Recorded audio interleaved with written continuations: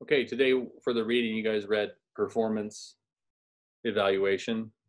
So we're going to talk just a little bit about that for a second, and then when you go to your groups at 215, you'll be doing some performance evaluations. So you're going to take the, I think you're going to take the job analysis that you did in the last activity, and then make some, make a performance evaluation based on that job evaluation.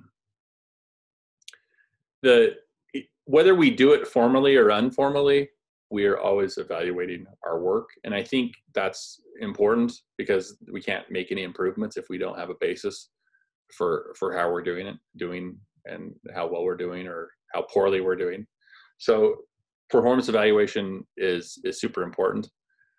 You know, sometimes we're looking at some raw data that's always good of course and then sometimes we're doing it kind of more by feel there's there's occupations where it's it's really interesting you know so teaching is one of those things where you know we try to we try to evaluate performance but it, it can be tricky to evaluate teaching. So um, sometimes people are a bit hesitant because of that uh, if it's if it's tough to evaluate. You know there's certainly a number of of reasons why we want to do this. You know recruitment of new employees is one. If we don't have a good sense of of what what it is we're doing for the job and how do we do it successfully? How are we going to know who to hire? So we we have to we have to know how that job performed well in order in order to do that.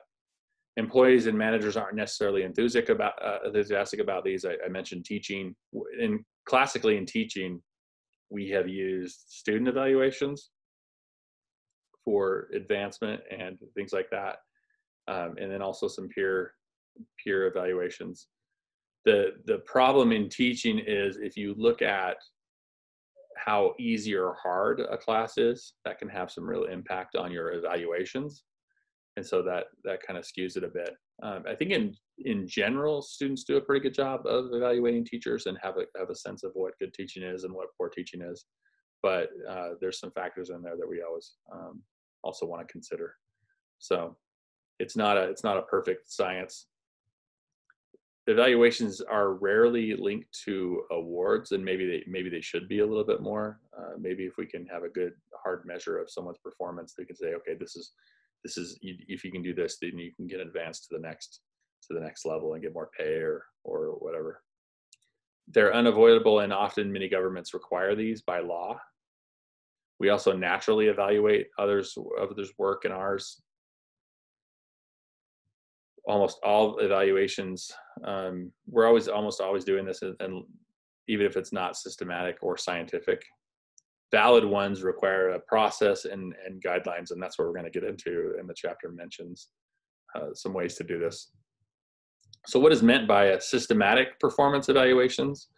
First of all we we talk about what is the exact nature of the job what you know job descriptions provide specific job duties the job duty these job duties are called job dimensions. What is it that we do in the job okay?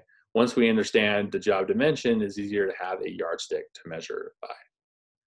And it can be ac- accurate knowledge of what the job incumbent does. So if you were uh, back to teaching because i started talking about it um, if you were to find out how to how to evaluate one's performance you would want to find out what a what a professor does on a daily basis. You know we prepare lessons we teach those lessons, we meet with students, we read and we research, we counsel on, on careers, we have committee assignments at the university. And so we get all those details and then you start to say, okay, this is what the this is what the professor does, the different types of things the professor does. How is that work done well? What does it mean to be a good teacher? What does it mean to do good research? And then we break that down into into trying to evaluate more specifically into trying to evaluate performance. There are two approaches to performance evaluation. The first approach focuses on employee behaviors, um, not the person, but what the person does. Most popular is the behavioral anchored rating scales or bars.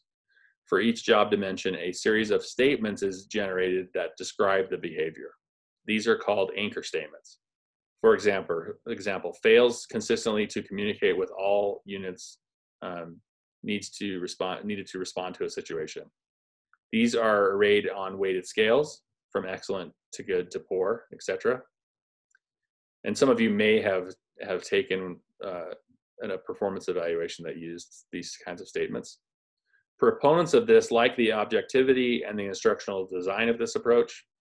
Weaknesses are it's time consuming to design and too rigid and directive. The second type focuses on results. Instead of behavior of the employee, what are the outcomes? How many new licenses did Jane issue during last quarter? The most popular is management by objectives or MBO. These con, uh, systems consist of four basic steps. Setting goals and objectives, working towards the goals or and objectives, reviewing performance, linking rewards or sanctions to performance. It's important for employees to at least buy into the, the system, whatever, whichever of these two that you're using. Too much emphasis on results may exclude focus on how these results are happening. It could lead to anything goes on anything goes philosophy. Also, results-based systems require special efforts on the part of raters to weigh and filter out extraneous factors. So I, I guess the big advantage of the of the second type here is that it does have a lot of measurements um, that you're looking in from the outside that you can look at and try to try to see hey are they are they getting results?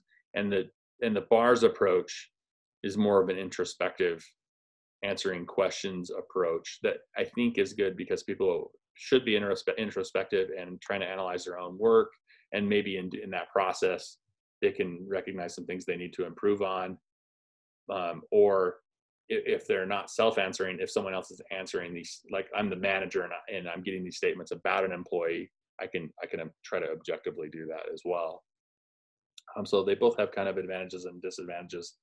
In the activity today, what you're going to be doing is taking that that job analysis you did, and you're going to pick um, one of these one of these two performance evaluation measures, uh, one of these two approaches to apply to that job.